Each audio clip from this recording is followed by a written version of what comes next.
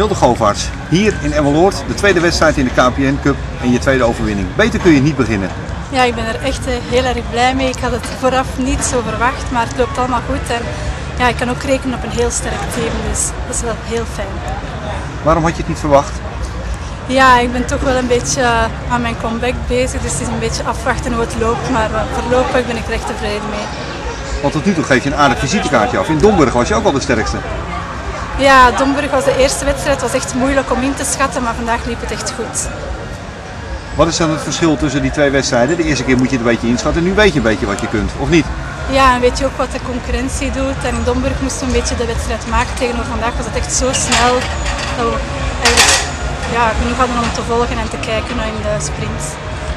Je zegt ik ben aan mijn comeback bezig. Hoe ver sta je daarin? Hoe ver ben je? Halverwege, denk ik. En halverwege is nu al heel goed dus. Ja, dat is al wel goed, maar ik moet nog een beetje bijtrainen hoor. De sprints moeten echt nog wel verbeteren. Ja?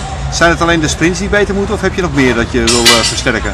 Nee, fysiek gaat het al wel goed. Ik heb ook geschaatst deze winter, dus fysiek moet het wel goed zitten. De sprints moeten nog beter.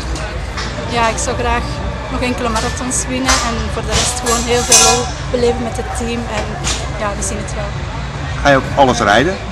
Ik ga in Nederland proberen zoveel mogelijk wedstrijden te rijden en EK en WK denk ik niet dat ik nog uh, ga rijden. Je hebt het KPN uh, Leidenstrui aan. Wil je die ook houden?